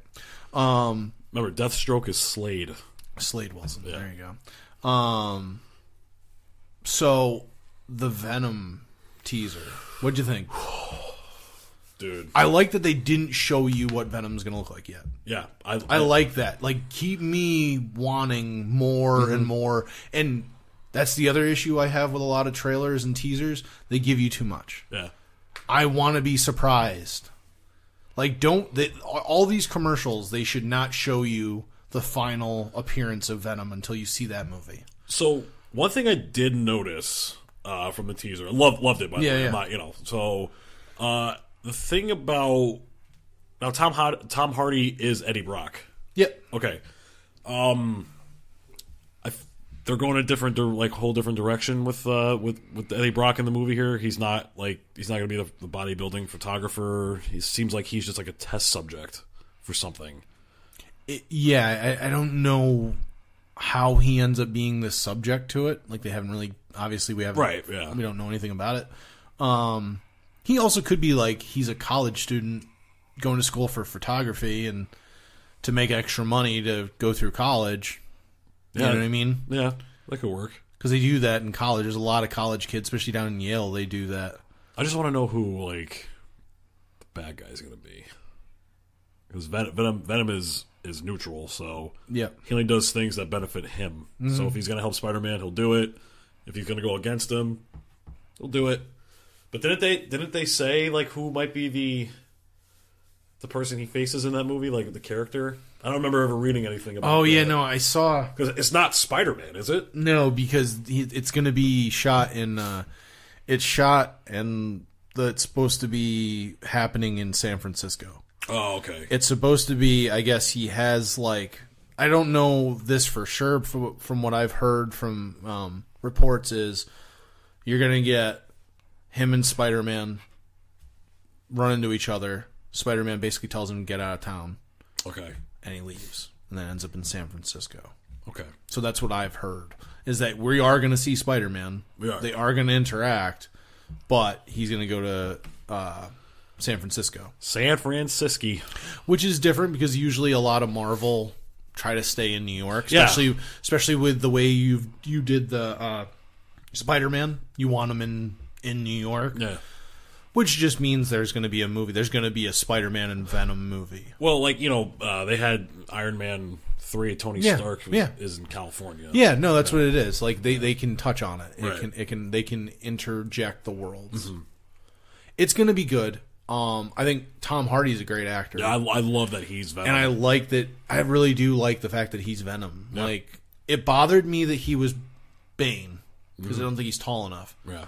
But Venom's supposed to be a big guy, but he doesn't have to be massive for the some tall. Like he doesn't have to be ridiculously tall because if you every every drawing, every photo, every figure I've ever seen of, of Venom, he's fucking stout. Yeah. And Huge upper body. Yeah. Short. yeah, But Venom. So and he hunches a little, so you could make him. Right. He doesn't need to be super tall. well, the, the the the symbiote when it form when it bonds to you, Yeah. it brings out what you think you like, what you truly want to be, Hmm. like size, shapes, whatever, whatever. So you know, in the comics, Eddie Brock is already in shape. he's already in shape. He's already like over six feet tall. So Venom bonded to, or the the symbiote bonded to him, and his brainwaves read that you know, like uh, bodybuilder, whatever, whatever, and just made him bigger. yeah. Well, Tom Hardy's five He's five eight, five eight. Yeah, he's not tall. short. So, uh, but it, it could it could be one of those things where when it latches onto him, Yeah. it'll be what he's always wanted. Like maybe this Eddie Brock is insecure about his height. Maybe he doesn't think he's big enough or whatever. Yeah. So when it happens to him, he's gonna just kind of blow up. So the other news Anything but Topher Grace is fine. Yeah. So the other news that came out, who they're gonna have play the Joker. You heard about that? Yeah. Joaquin Phoenix. Any anything to say about? I I I, I went on a rant and had an argument with uh, Chad Dizzle Davis from uh, Pass the F and Popcorn. We him and I have gone back and forth on this multiple times. I don't like the idea I hate- of an origin story. oh, you don't want an origin story? No, Why? we've talked about this. I don't like the fact that you're going to tell me who the Joker is. Don't. His whole shtick is he tells everybody a different story. Whatever makes it convenient for him at that moment, and can like, and I like that. Like it's an eeriness. Like, what are his motives? You, nobody knows. Like that's the whole point. He's supposed to be a mysterious character. The Joker. Yeah, you know what I mean. Like, I also think if you're gonna do an origin story, and you're gonna have Joaquin Phoenix play him, which is not a bad choice. I think he could do it. Um, I wanted Leo so bad. Yeah, Leonardo DiCaprio would have killed that role. He was pretty much the Joker in Django. yeah. only only a slave owning Joker. yeah, that's a little. That's a stretch. But um, I also think if you're gonna do that, Yeah. it should just be him telling multiple stories, and then you never really know what his origin is. Well, that will. That should be the Yeah, tease. that, that that's what's in the comics. He's like, but- That's what I yeah, hope. Yeah, when he said, but from all accounts and everyone that I've talked to, like like Chad's, like, no, man, I really want to know where. I don't. I want it to keep keep that fucking hidden from me. That's what makes him so fucking weird and creepy when he fucking wants to not kill Batman. yeah, He says he does, and then when he gets him there, he does. He takes his time and wants to toy with him. Like there has to be a reason. The reason is you don't know his reasons. Right, He's right. so fucking out there. Like that's the whole point. That's why I like him for what he is. Like I it, is the Joker my favorite, you know, villain? No, but like he's a great villain Right. and he's always everyone else's top one or 2 Mm-hmm. So it is what it is. I just think that he's going to be a good actor. He's going to play it well. I didn't like the way they did him in Suicide Squad, so I don't blame that on Jared Leto. I think Jared Leto is a good actor. Um, but we'll see. I think he deserved a shot to actually show a good Joker. Yeah. but you they already fucked it up with with yeah, Suicide it's, Squad. It's, it's too late now. I, I feel like if they re reimagined his Joker, we would all just still see Suicide Squad. and they shouldn't have killed Common. I mean, that's I'm sorry. they fucked that up. But uh so Jerry, let's do a little bit of collectibles. I actually have some to talk about. All right. Collectibles. What do you got, Jerry? So, uh, my newly fiance um, surprised me with a couple things. Uh, the Toys R Us exclusive Street Fighter V M Bison uh, figure from Storm Collectibles, but in alternate color. So I have already bought in the red one, have Yeah. that at home, but now he's in green and yellow. Oh, nice. Yeah. Um, and uh, it's, it's only a couple things. And she bought me uh, head scouters from uh, Dragon Ball. yeah, yeah. And didn't we? Didn't you pick them up at New York Comic Con? So I told the story. I'm like, yeah, me and Aaron went to New York Comic Con. I forgot what year we went. This is probably five years ago now. Yeah, and I, I said, you know, th- those were like part of the exclusives. Yeah, So we just wait in line, you know, one per person, whatever, and then, you know, it came with three different scouters: a blue visor, green, and red. And Yep. she bought me, the, but these ones are from the Dragon Ball Super, uh, the new show that is well, it's been out, but it's the most recent one. So, um, yeah, she got me those, and uh, it's awesome. I mean, I. I it's cool. Like you hit the button and reads like the power level and stuff Yeah. like that. I Kind of like the sh- you know give that feel Yeah. to the show. So yeah, that, that's what I got. That's this- cool. for this episode. Yeah. nice. And what did you pick up today? Oh, and today, uh, my co-host Aaron Holiday over here sold me a CM Punk micro brawler From Pro Wrestling. from Tees. Pro Wrestling Tees. Um, so I love these things; these are awesome. They fit in scale to the WWF um, mystery minis that Yeah, they have. yeah. And I like these. I, you know, and I think these. I, I like these better. I think these. I do and. I don't. Is it because? I mean, there's a reason why I sold you that. Oh. Fuck CM Punk. I mean, I know you're a huge fan of CM Punk, so. I know But um, no, but I, I, I, I so to, to piggyback off of that, I obviously uh, I bought a five pack of them from uh, Pro Wrestling Tees. They were having a sale, uh, and they were all mysteries. You couldn't you couldn't pick who you got. Otherwise, I would have probably changed a little bit. Obviously, I wouldn't be selling you CM Punk if I picked out a guy that I wanted. Right. But uh, I got CM Punk, Big Daddy Vader, uh, Big Bat, Big Daddy Vader, Big right? Van. Big Van Vader. But didn't they call him Big Daddy as well too? Like there's he had like multiple names. Vader, like Vader went by a bunch like Vader time, like shit like that. And then um I obviously got Kenny Omega, which, you know, Jerry's trying to sneak out of here with. Uh Joey Ryan and um oh god, uh Pentagon Jr. Yep. So love them. I think they're really cool. I think my favorite eh, it might be Joey Ryan. Yeah, that, I just think it fits him very well. But the Pentagon's really good, and so is the. They're all good. yeah. Um, the only one that I've seen online that I didn't like was Cody's, just because it's like him in a suit, Yeah. and I'm like, yeah, he just started doing that. Like, I get it. You want to be like, as up to date as possible. He just looks kind of corny Right. with holding a ring and like I don't. It doesn't do anything. But it's the Ring of Honor ring. It doesn't do anything for me. It's literally the Ring of Honor. I, I, I, I get it. and um, what else did I just recently get? Oh, uh, today actually, um, this morning I actually made my usual shopping run to Walmart. Did my grocery shopping. Picked up. Uh, they're doing a. I think it's a. Um, I forgot what what the what the name of the line is, but they're doing a lot of throwback characters.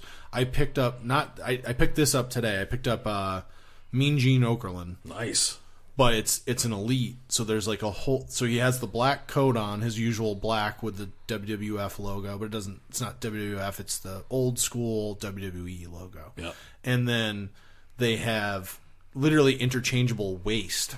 You can take his whole upper torso off, pop his head off, and pop it onto another torso and put it back into the body. It's a red Oh, that's cool. red coat. So it's not like cheap plastic No, peel no. off. It's a whole Oh, that's cool. Yeah, so I picked that up today. And then last week I picked up they have the they they're they're, they're not retros, they're uh, like throwback figures, but they did a basic line and a elite line. Obviously the Mean Gene uh, line you had Mean Gene, Yokozuna, Ultimate Warrior, and Syxx Wow. from the NWO, and he comes with the NWO shirt and stuff.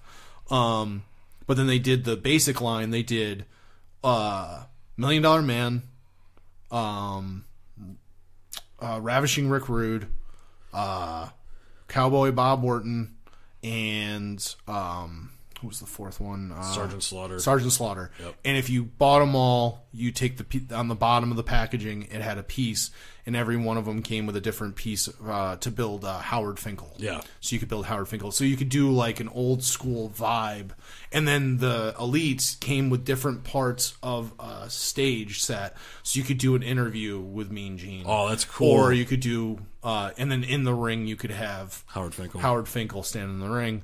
And then, uh, so I picked up the Million Dollar Man, Ted DiBiase, and the Ravishing Rick Rude because they are wearing the same gear as the original Hasbro's. Yeah. They never put those out. So they finally made figures to match your Hasbro's. So I picked those up. Good.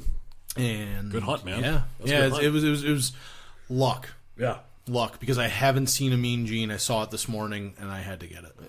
Mean Gene's worth it, man. Oh, he's the man. Mean Gene's the shit. I love Mean Gene. So, um, so yeah, uh, we're gonna try to hit up WrestleFest. Yes. that's probably gonna happen right after our next episode. So we're gonna have this episode's gonna be out, and then two weeks from now will be the twenty fifth.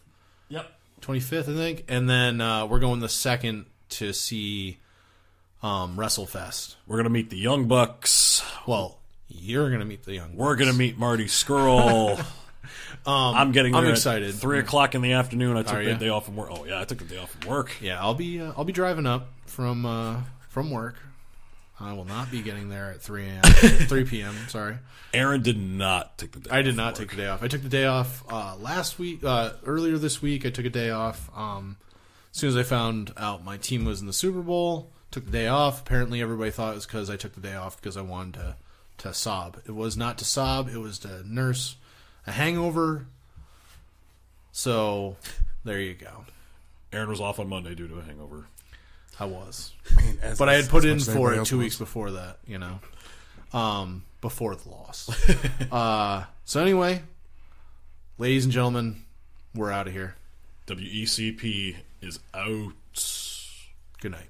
If you smell what the rock is cooking.